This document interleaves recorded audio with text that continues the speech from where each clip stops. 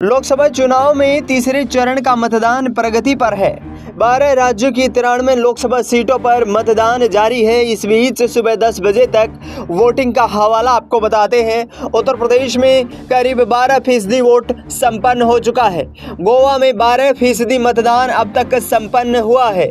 पश्चिम बंगाल की बात करें तो साढ़े चौदह परसेंट मतदान वहाँ पर संपन्न हो चुका है। कर्नाटका की बात करें तो वहाँ 10 फ़ीसदी मतदान मतपेटियों में जमा हो चुका है।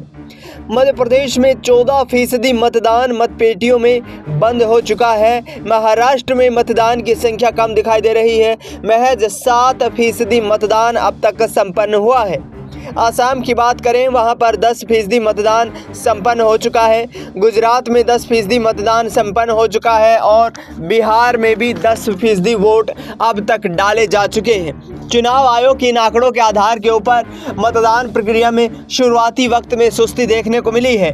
लेकिन उम्मीद ये है कि अधिक से अधिक लोग अब घरों से बाहर निकलकर अपने मताधिकार का इस्तेमाल करेंगे। प्रधानमंत्री नरेंद्र मोदी ने आज अपने गृह क्षेत्र अहमदाबाद पहुँचे और वहाँ जाकर मतदान करने की अपील की और इसके साथ साथ अपना वोट डाला। इसके साथ साथ केंद्रीय गृह मंत्री अमित शाह ने भी अपने मताधिकार का प्रयोग किया। बता दें आपको कि अमित शाह गांधीनगर लोकसभा सीट से चुनाव लड़ रहे हैं। भारतीय जनता पार्टी 400 सीटों को जीतने का दावा कर रही है तो दूसरी तरफ़ विपक्ष 150 सीटों पर रोकने का यहाँ पर तमाम प्रयास करता हुआ नज़र आ रहा है।